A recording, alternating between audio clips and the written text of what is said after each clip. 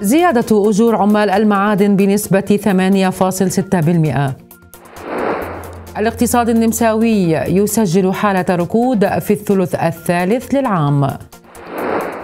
الشرطة النمساوية تحصل على هواتف وأجهزة لوحية.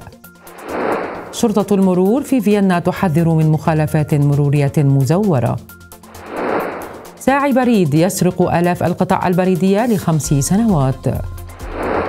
وأكثر من ثمانية آلاف شخصا مصابا بالإيدز في النمسا.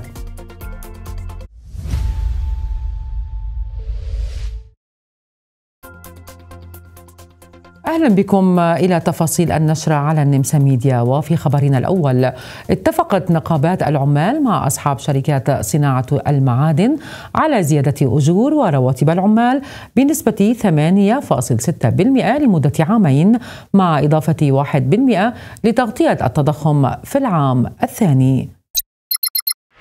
وبهذا يرفع الاتفاق الحد الأدنى للأجور إلى ما يصل ل 2500 ألف يورو مع زيادة 10% للدخول المنخفضة وتدريجية للدخول العالية.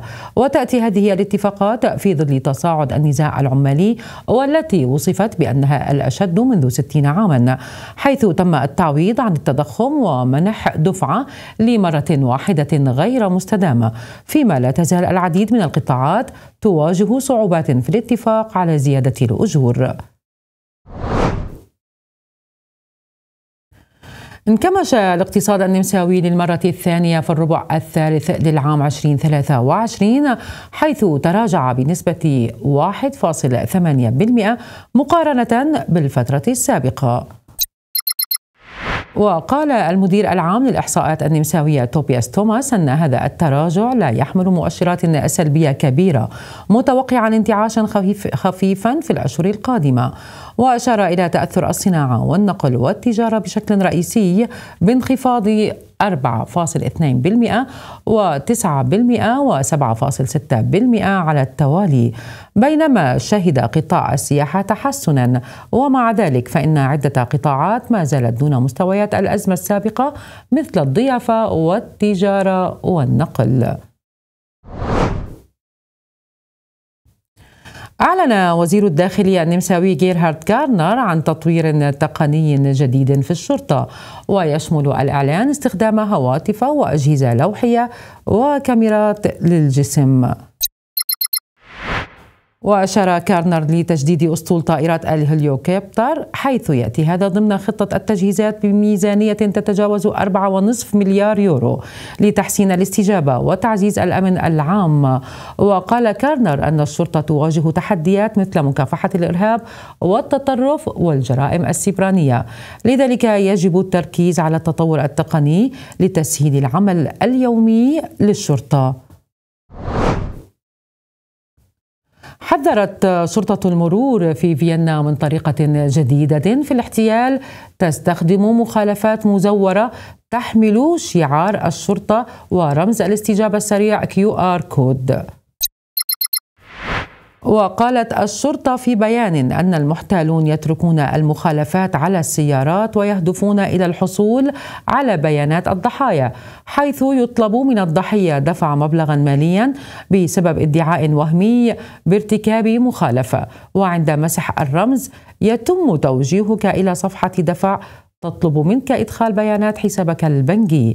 وتنصح الشرطة بعدم الرد على مثل هذه المطالب والتحقق من صحة الرسائل. اتهم موظف بريد في فيينا بسرقة آلاف الطرود البريدية خلال خمس سنوات حيث كان يقوم بتفريغ محتوى البريد. واكتشف محققون في الشرطة الجنائية الفيدرالية الرجل البالغ من العمر خمسين عاما وهو يسرق ويرمي الرسائل. حيث تم شراء ظروف وهمية وأثناء تفتيش شقته عثر على طوابع بريدية وبطاقات هدايا ومواد مزيفة وقد تسبب المتهم بآلاف من اليوروهات من الأضرار ويواجه حاليا تهما بالسرقة والتلاعب بالبريد وتهما أخرى. أخيرا سجلت النمسا وجود أكثر من 8600 شخص مصاب بفيروس نقص المناعة الإيدز حيث سجل نحو 473 حالة جديدة العام الماضي.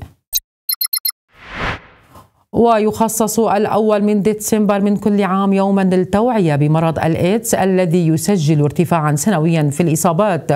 وكشف استطلاع في النمسا أن 21% يرون أن المصابين بالإيدز يشكلون خطرا على المجتمع. فيما يخطئ الثلث في الاعتقاد بأن الفيروس ينتقل عن طريق التقبيل. يعتقد 13% أنه قد ينتقل عبر الحشرات ويعتقد 12% بأن الفيروس ينتقل عند استخدام أدوات المطبخ أو في دورات المياه. وتشير الحقائق إلى أن الانتقال الأساسي للعدوى يكون جنسيا بشكل مباشر.